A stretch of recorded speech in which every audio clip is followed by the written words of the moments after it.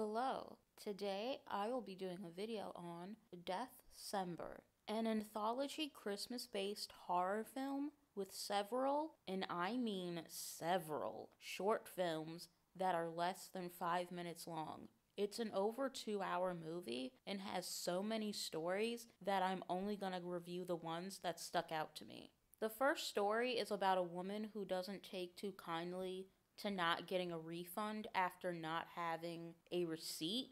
The acting was really bad. It reminded me of an acting workshop between two amateur wannabe actors. It was very distracting, and I don't mind campy performances, but this was really bad and jarring. The second story is about a group of robbers who plan to rob a jewelry store when things suddenly go left. I really like this one but it didn't seem like a scary movie, more like an action thriller. With a concept better suited as a full length movie, it's really good up until the end. Everyone was singing Christmas carols, and that really confused me. The third story involves clay dolls. This one made me so freaking uncomfortable. It was about rape and sex toys, and it was hard to watch.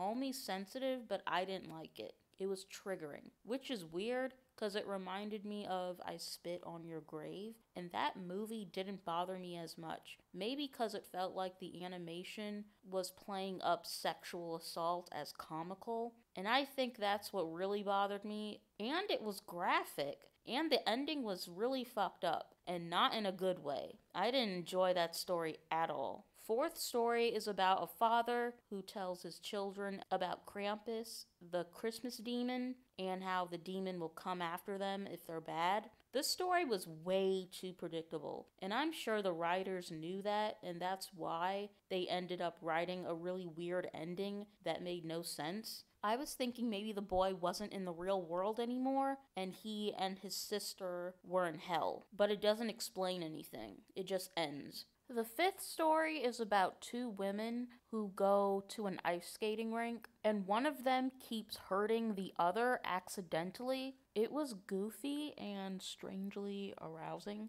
not gonna lie, but I liked it. I do wish it was a bit longer. A lot of these stories, as soon as something happens, it suddenly comes to an end. There was one last story during the end credits, which I really liked. It was gory, bloody, bad acting, tongue in cheek, and had a lot of potential to be a full length creature feature. Although I hope if they do make a longer version, they get better writers, the dialogue felt very improvised. The movie overall was okay. It definitely did not need to be over two hours. I felt like it was never going to end. And by the time the movie did come to an end, the whole Christmas theme became mind numbing. Half the stories had some crazy guy wearing a Santa suit. And I was about to go crazy because it was like watching the same thing over and over again. Most of the stories are just subpar. Plus, they took the same theme musical from the Harry Potter movies. How are they not getting sued? So, yeah, I give this a 3 out of 10. It was more bad than good. There were only a handful of stories that I liked.